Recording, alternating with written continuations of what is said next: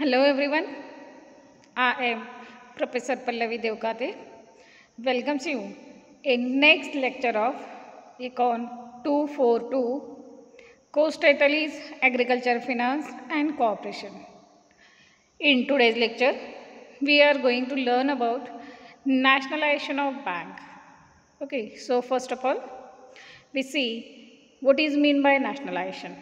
Okay, so this nationalization is the process of transforming private asset into public asset by bringing them under public ownership is known as nationalization.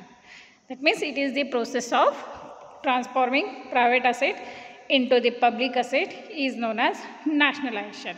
Okay, so in case of bank, the nationalization of banks, that means whatever the banks which are held or owned by the private industrialists before nationalization, that banks are converted into the public bank that is called as nationalization of bank. Okay. Next one that is objectives of nationalization of banks.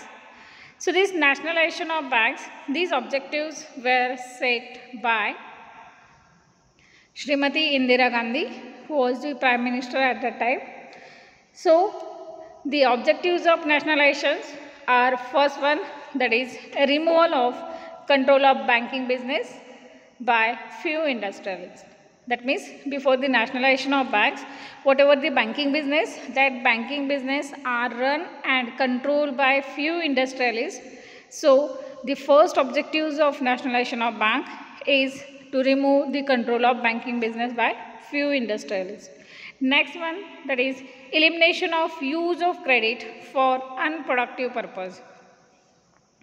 That means unproductive purpose, the loan which does not give any productive or any income that called as unproductive loan.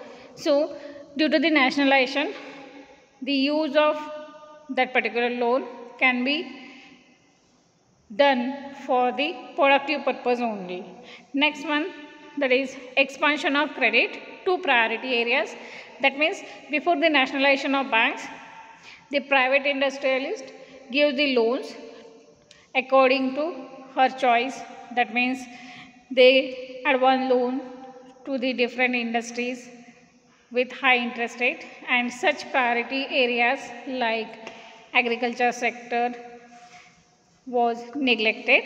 So, expansion of credit toward the priority areas is increased due to the nationalization of banks. Next one, giving professional touch to the banking business. Next subject is encouragement of new classes of entrepreneurship. That means provision of proper credit facilities due to which there is new generation of entrepreneurs Next one that is provision of adequate training and reasonable terms of service to the bank staff. These are the some objectives which are set by Srimati Indira Gandhi. Next point that is phases of nationalization. So this nationalization of banks was done in two phases. In that first page, during first page, this first page occurred during 19 July 1969 so in this page, near about 14 banks were nationalized.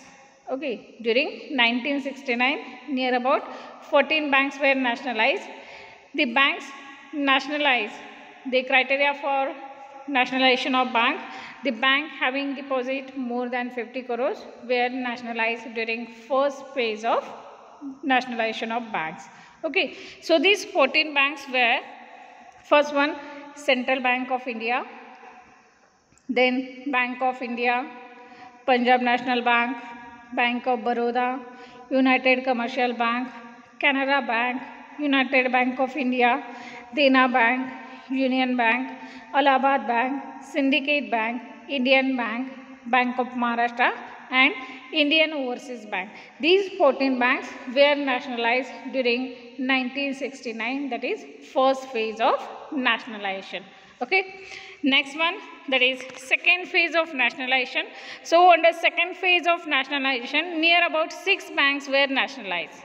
So this second phase of nationalization of bank was done during 15th April 1980.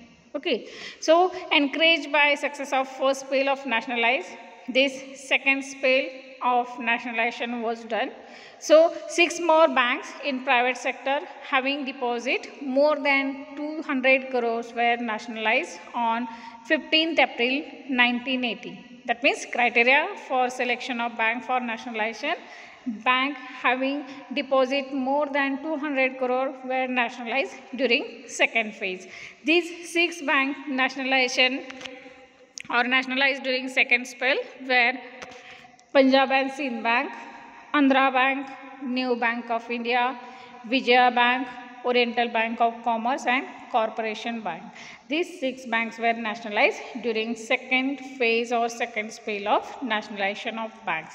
Nowadays, total 20 banks were nationalized. Next one, that is need of nationalization. Why this nationalization of bank is essential?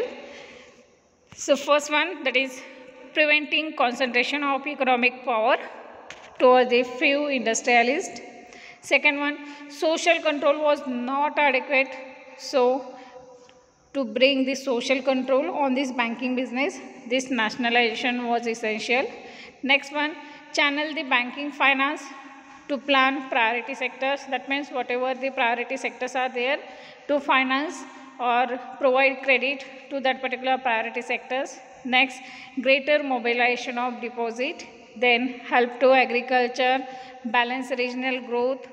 Also, the greater control by Reserve Bank small stake of holder, then greater stability of banking structure, march forward towards the socialism, better service condition to the staff and new scheme. These are the some points which are essential for nationalization of banks. So these are the some points which are needed for nationalization of bank. So this is all about today's lecture that is nationalization of banks and social control. Question may be asked on this topic like explain the nationalization of banks or sometimes objective type question may be asked on this topic. Okay, this is all about today's lecture that is nationalization of bank. Okay, thank you all.